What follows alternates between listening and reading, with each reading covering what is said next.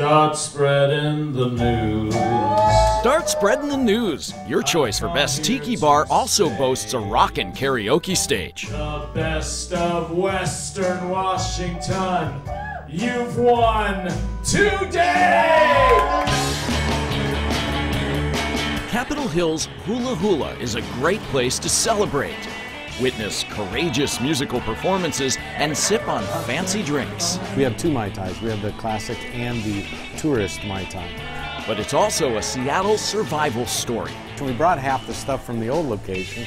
Owner Keith Robbins set up shop in this new location after demolition forced Hula Hula from its original Queen Anne building. Moving into a new neighborhood and and getting these kind of accolades is fantastic.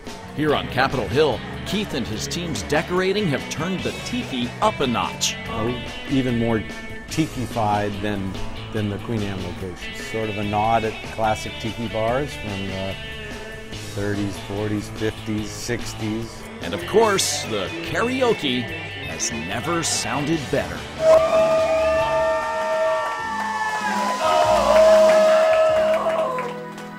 bubble